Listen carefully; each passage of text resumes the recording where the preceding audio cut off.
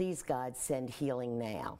The keepsakes in Judith Bernstein's home show a life well lived, despite battling cancer multiple times. Skin, lymphoma, breast, lung, lung, esophageal, and that was followed by thyroid. You know, it's just dumb luck.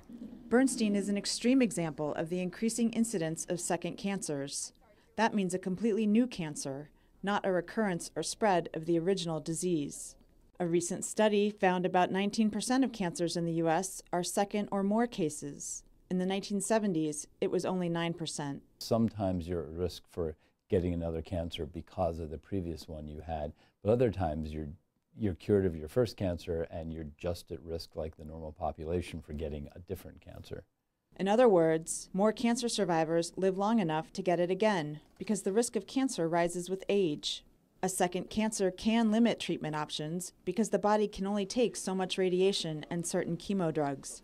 But science is improving. The treatments themselves have gotten much, much better over the years and they're much, much more sophisticated. It's allowed us to effectively treat a person more than one time. A second diagnosis can be more traumatizing for patients and caregivers.